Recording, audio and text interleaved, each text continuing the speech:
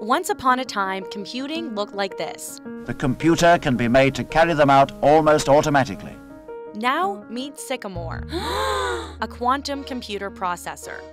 Google claims this has done what other classical computers have never been able to do solving a really hard, like really hard, problem in three minutes. Google says it would take 10,000 years for today's fastest supercomputer to do almost the same thing. But one of their biggest competitors, IBM, says this is an exaggeration. Nonetheless, Google is calling their experiment quantum supremacy. What Google did is a very valuable step and very important for the field, and they should be applauded.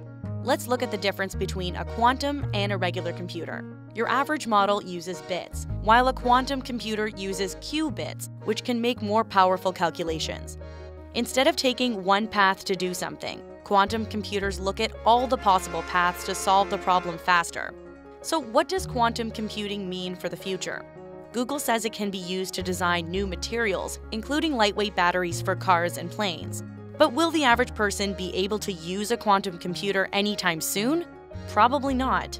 Google has one, IBM has one. These things typically are kept at an extremely cold temperature. It's not something that we can put in a plastic box and ship to the public. A lot of people are making progress, but it's really something that will happen in the future.